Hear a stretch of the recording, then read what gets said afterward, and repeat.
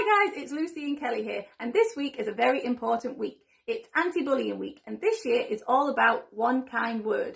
So we're here today to give you some ideas about how you can be thinking about one kind word each and every day. So you're on the playground, in the classroom, talking to your friends and family, at the business office, or in a meeting. How about you say, you know something? You are talented, brilliant, amazing, lovely, sweet, wonderful, kind, genius, and awesome.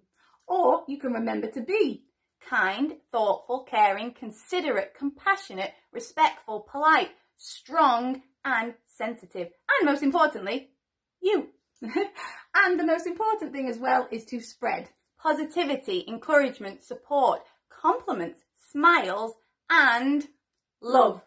So have a great week, guys. Be good, be kind, be caring, be you, and nothing but love from us. Bye.